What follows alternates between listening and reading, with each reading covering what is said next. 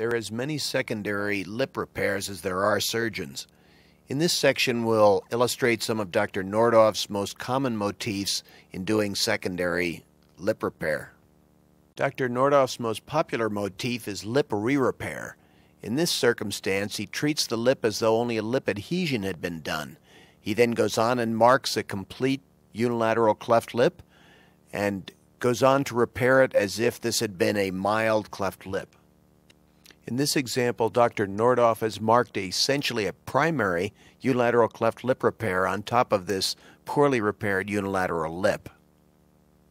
Here is her preoperative frontal view, followed by her postoperative improvement, which is certainly much better.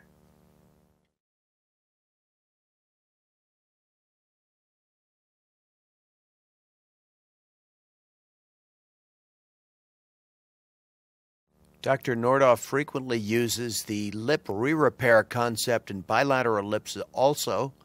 He treats the initial lip repair as though a simple lip adhesion had been done, and then does a complete bilateral cleft lip, uh, as is diagrammed here. Here's an example patient showing a poor bilateral repair, which has been simply re-repaired as it should have been the first time.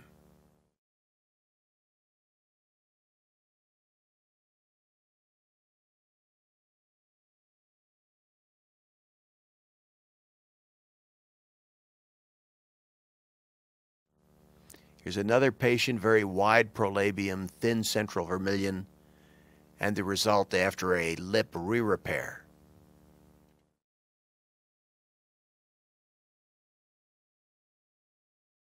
Here is yet another example.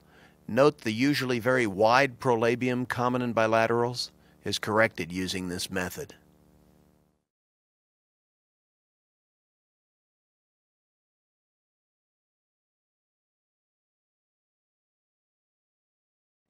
Temporalis fascia is another popular technique used by Dr. Noordhoff to fill in vermilion defects. Here we can see a very, very poorly developed vermilion on the cleft side, the result following lip re-repair and a temporalis fascia graft to the vermilion.